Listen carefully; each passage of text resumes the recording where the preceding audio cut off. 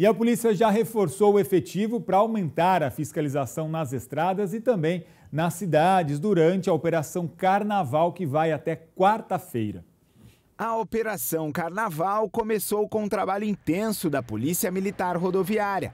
A rodovia Marechal Rondon, que faz parte do trajeto capital interior, recebe atenção maior. O efetivo ele é, ele é aplicado no terreno através de uma análise e um planejamento operacional.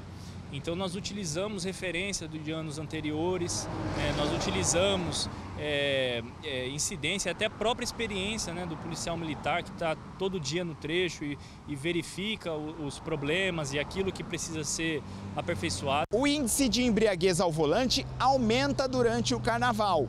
Antes das festas, mais de 13 mil testes de bafômetro já foram realizados em todas as rodovias do estado.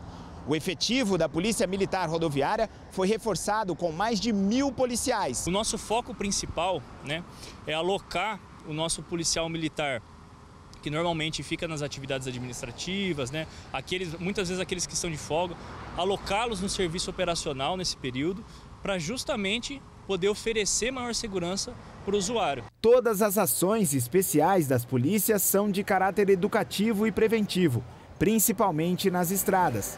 O objetivo é garantir a segurança de todos os condutores e passageiros. As fiscalizações se estendem até a quarta-feira de cinzas. O nosso objetivo principal é que todos no período do carnaval aproveitem né, o carnaval de uma forma segura, de uma forma apropriada, de uma forma que assim é, é como a gente costuma falar, né? A melhor, a melhor viagem é a viagem que a gente chega bem em casa, a, a, a viagem que a gente chega em segurança.